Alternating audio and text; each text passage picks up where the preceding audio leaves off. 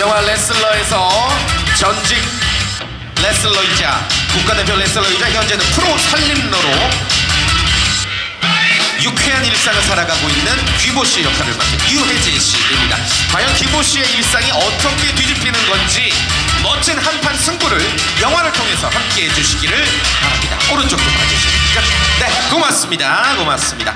계속해서 김민재 씨를 모셔보도록 하겠습니다.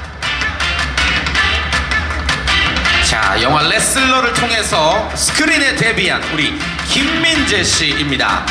성웅 역할을 얼마나 멋지게 소화해내셨을지 오늘 팬분들이 아주 많이 자리해 주셨는데요. 김민재 씨에게 박수 부탁드립니다, 여러분. 아, 스크린 데뷔 왼쪽부터 한번 바라봐 주실까요?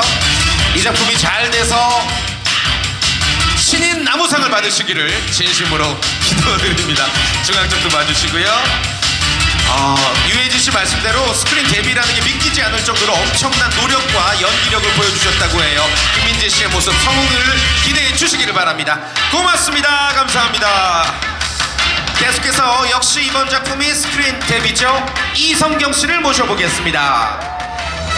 엉뚱발랄하고 사랑스러운 가영 역할의 이성경 씨입니다. 자, 역시 왼쪽부터 바라봐 주시고요. 아름답고 그리고 또 연기까지 잘하고 그야말로 당찬 아, 요즘 대세 누가 뭐래도 이성경 씨입니다. 이 스크린에서까지 활동 영역을 넓혀나가고 있는 우리 이성경 씨 오른쪽도 한번 봐주실까요? 스크린을 통해서 멋진 신고식을 치르길 바라겠습니다. 고맙습니다.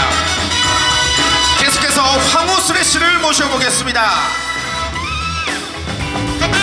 영화 레슬러를 통해서 보나 역할을 통해서 엉뚱하고 때론 사랑스러운 도나 역할을 맡은 우리 황호슬 씨입니다. 네. 아름답고 참 연기 잘하는 배우시죠. 과속 스캔들 제작진과의 두 번째 만남 편안한 환경 속에서 더 멋진 연기력을 선보여 주신 것 같습니다. 자, 황호슬 씨 자리에 계신 상태에서